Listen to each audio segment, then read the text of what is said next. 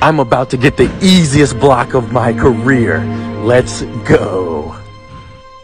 Haha, you fool. You have underestimated the art of the fundamentals. Pump fake. Got him. How can this be? I swear he was shooting the ball. What happened?